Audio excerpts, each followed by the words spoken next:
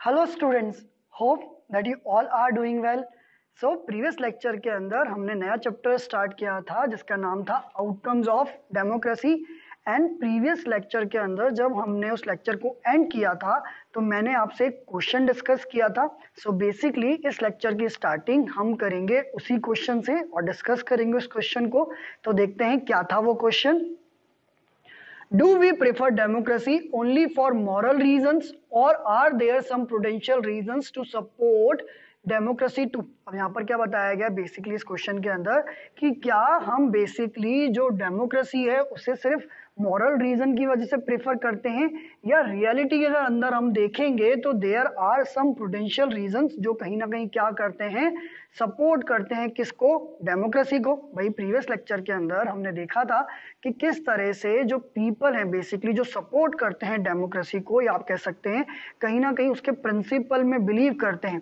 पर जब वो रियलिटी में डेमोक्रेसी को प्रैक्टिस करते हैं तो वो सेटिस्फाइड नहीं थे। इसीलिए हमने क्वेश्चन डिस्कस किया था और वो क्वेश्चन क्या था कि do you prefer democracy only for moral reason यानी कि क्या हम डेमोक्रेसी को इसलिए प्रेफर करते हैं क्योंकि वो क्या है मॉरल रीजंस की वजह से? या फिर रियलिटी में अगर हम देखेंगे there are some prudential reason to support democracy too यानी कि रियलिटी में क्या कुछ प्रोडेंशियल रीजन भी हैं जो कहीं ना कहीं क्या करते हैं सपोर्ट करते हैं किसको? डेमोक्रेसी को. तो स्टार्ट करते हैं डिस्कशन और देखते हैं इसका answer.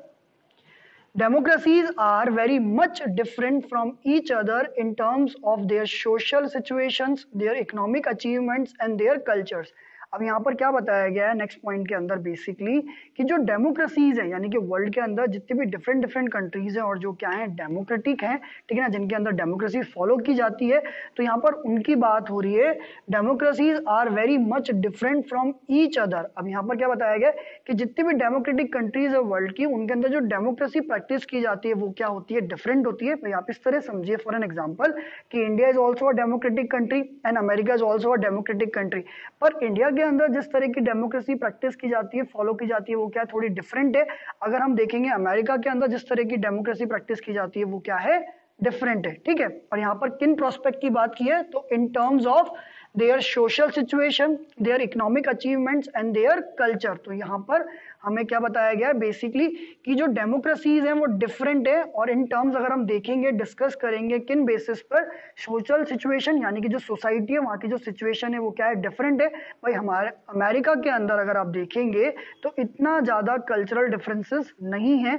जबकि अगर आप कंपेयर करेंगे इंडिया के अंदर तो हमारे यहाँ डिफरेंट डिफरेंट कल्चर के क्या रहते हैं? पीपल रहते हैं।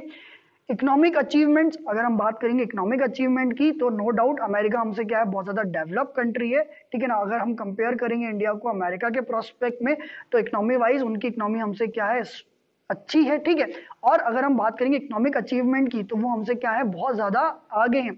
तो इसीलिए यहाँ पर क्या बताया गया है कि जो कंट्रीज़ हैं वर्ल्ड की जो डेमोक्रेसीज हैं, वो बेसिकली क्या है? डिफरेंट है, अगर हम बात करते हैं उनकी सोशल सिचुएशन की, उनके इकोनॉमिक अचीवमेंट्स की और उनके कल्चर्स की, यानी कि वहाँ पे जो पीपल रहते हैं, उनका डिफरेंट डिफरेंट कल्चर होता है, वहाँ के जो इकोनॉमिक अचीवमेंट्स है, वो भी क्या है? डिफरेंट है। और बेसिकली जितनी भी वर्ल्ड के अंदर डेमोक्रेसीज हैं, वो भी क्या है?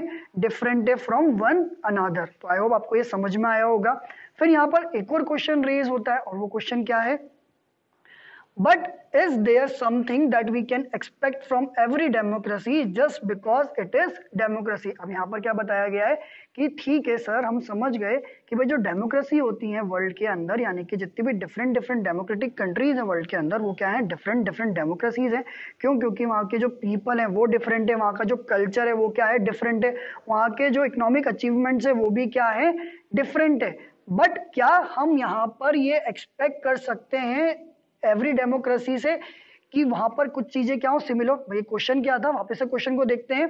But is there something that we can expect from every democracy it means कि क्या ऐसे कुछ पॉइंट्स हैं, ऐसी कुछ चीज़ें हैं जो हम एक्सपेक्ट कर सकते हैं एवरी डेमोक्रेसी से? यानी कि कुछ चीज़ ऐसी हो जो कॉमन हो सभी डेमोक्रेसी से डेमोक्रेसी के अंदर। तो क्या हम इन चीज़ों को एक्सपेक्ट कर सकते हैं? क्यों? Because just because it is democracy क्यों? क्योंकि एवरी कंट्री क्या है? डेमोक्रेसी है। तो अगर डेमोक्रेसी है तो सर कुछ चीज़ें तो क्या होंगी? कॉमन होंगी। तो क्या हम एक्सपेक्ट कर सकते हैं कुछ चीज़ें एवरी डेमोक्रेसी से? तो अब इस क्वेश्चन को हम सॉल्व करते हैं। Democracy can address all socio economic and political problem अब यहाँ पर क्या बताया गया है कि जब हम बात करते हैं डेमोक्रेसी की और हम एक्सपेक्ट करते हैं कुछ ना कुछ सिमिलर इन एवरी डेमोक्रेसी के अंदर तो यहाँ पर बताया गया है कि भाई जितनी भी डेमोक्रेसीज हैं वो कहीं ना कहीं क्या करती हैं एड्रेस करती हैं socio economic and political problem यानी कि कंट्री के अंदर जो भी आप कह सकते हैं इकोनॉमी से रिलेटेड प्रॉब्लम है सोसाइटी से रिलेटेड प्रॉब्लम है या कोई भी पॉलिटिकल प्रॉब्लम है तो इन सभी को एड्रेस कौन करती है? बेसिकली डेमोक्रेसी इन सबको क्या करती है? एड्रेस करती है, यानी कि वर्ल्ड के अंदर जितनी भी डेमोक्रेसीज होंगी, ठीक है ना, वो डिफरेंट ज़रूर है। बट कहीं ना कहीं जब बात आती है problems like socio economic and political problems in problems को बेसिकली जो सभी डेमोक्रेसी होंगी वो क्या करेंगी? सॉल्व करेंगी अपने कंट्री के पीपल्स के लिए। क्लियर अब देखते हैं next point if some of our expectations are not met, we start blaming the idea of democracy. अब यहाँ पर क्या बताया गया है? अगर हम कुछ एक्सपेक्ट करते हैं किससे? डेमोक्रेसी से। और वो एक्सपेक्टेशन मीट नहीं होती है तो ऑटोमेटिकली हम किसको स्टार्ट करते हैं? ब्लेम करना हम स्टार्ट करते हैं आइडिया ऑफ़ डेमोक्रेसी को। भाई आप इस तरह से समझिए कि कभी भी जब हम किसी प्रॉब्लम को फेस करते हैं हमारी कंट्री के अंदर कोई भी प्रॉब्लम होती है तो हम किसको ब्लेम करना स्टार्ट करते हैं? हम बेसिकली ब्लेम करना स्टार्ट करते हैं हमारी कंट्री की गवर्नमेंट को। अब गवर्नमेंट कैसे फॉर्म हुई है? क्यों? क्योंकि हमारी कंट्री क्या है? डेमोक्रेटिक है। तो आप अल्टीमेटली इस तरह समझिए कि जब भी हमारी कोई एक्सपेक्टेशन होती है, जो मैट नहीं करती है तो ऑटोमेटिकली आप कह सकते हैं डायरेक्टली और इनडायरेक्टली हम किसको ब्लेम कर रहे हैं? हम ब्लेम कर रहे हैं आइडिया ऑफ़ डेमोक्रेसी को। क्लियर अब देखते हैं next point thinking carefully about the outcomes of democracy is to recognise that democracy is just a form of government अब यहाँ पर क्या बताया गया है कि जब भी हमारी एक्सपेक्टेशन जो होती है, वो मीट नहीं करती है, और हम क्या करते हैं ब्लेम करना स्टार्ट करते हैं डेमोक्रेसी को, या आप कह सकते हैं आइडिया ऑफ़ डेमोक्रेसी को तो फ़र्स्ट ऑफ़ ऑल जब भी हम इन चीज़ों को क्या करते हैं थिंक करते हैं, भाई जब भी हम आउटकम ऑफ़ डेमोक्रेसी को क्या कर रहे हैं रिकॉग्नाइज कर रहे हैं तो हमें ये ध्यान रखना चाहिए कि जो डेमोक्रेसी है, वो क्या है just a form of government मतलब डेमोक्रेसी कोई, आप कह सकते हैं, कोई रियल पर्सन नहीं है, कोई ह्यूमन बींग नहीं है, ठीक है? डेमोक्रेसी क्या है? डेमोक्रेसी एक फॉर्म ऑफ़ गवर्नमेंट है और ये हमको याद रखना चाहिए, जब हम एक्सपेक्ट करते हैं कुछ और वो एक्सपेक्टेशन जो है मीट नहीं होती और हम ब्लेम करना स्टार्ट करते हैं किसको? आइडिया ऑफ़ डेमोक्रेसी को। तो जब फ़र्स्ट थिंग जो हमें करनी चाहिए केयरफुली सोचना चाहिए। जब भी हम आउटकम ऑफ़ डेमोक्रेसी को रिकॉग्नाइज करते हैं तो वो क्या है? वो ये है कि जो डेमोक्रेसी है, वो क्या है? Basically just a form of government यानी कि डेमोक्रेसी कोई रियल पर्सन नहीं है। बेसिकली ये क्या है? एक फॉर्म ऑफ़ गवर्नमेंट है। क्लियर अब देखते हैं next point it can only create condition for achieving something तो यहाँ पर क्या बताया गया कि भाई जो डेमोक्रेसी है, ये बेसिकली क्या करेगी? क्रिएट करेगी इस तरह की सिचुएशन जिसमें आप कुछ क्या कर सके अचीव कर सके। भाई जो सोसाइटी के अंदर पीपल रहते हैं, उनकी कुछ ना कुछ एक्सपेक्टेशन होती हैं, उनके कुछ ना कुछ क्या होते हैं? गोल्स होते हैं। और जब वो गोल्स और जब वो एक्सपेक्टेशन मीट नहीं होती है तो ऑटोमेटिकली पीपल क्या करते हैं? ब्लेम करना स्टार्ट करते हैं। गवर्नमेंट को या आप कह सकते हैं आइडिया ऑफ़ डेमोक्रेसी को।